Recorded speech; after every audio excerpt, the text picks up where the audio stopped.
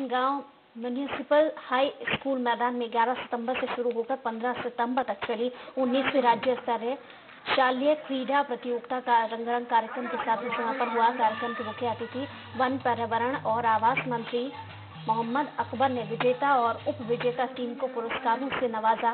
प्रतियोगिता में all over championship का खिताब राजनांदगांव ज़िले के खिलाड़ियों के नाम रहा और इस खेल प्रतियोगिता में नेहरू हॉकी बास्केटबॉल फ्लोरबॉल समेत छह विधा को शामिल किया गया था।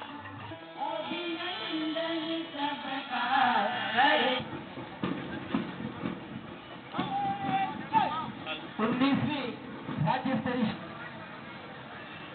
रस्सी की जो परंपरागत आयोजन खो खो आगे फ़र्स्ट पोजीशन फ़र्स्ट पोजिशन की मेहनत करेंगे और अच्छे से। हम चाहते हैं कि हम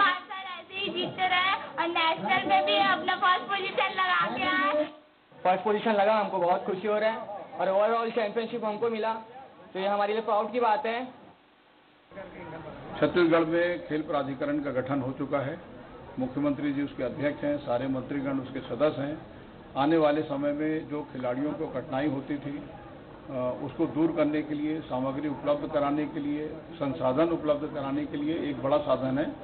उम्मीद करता हूँ कि आने वाले समय में जो हमारी प्रतिभाएँ हैं खेल के क्षेत्र में, उनको अवसर मिलेगा और वो आगे आएँगे।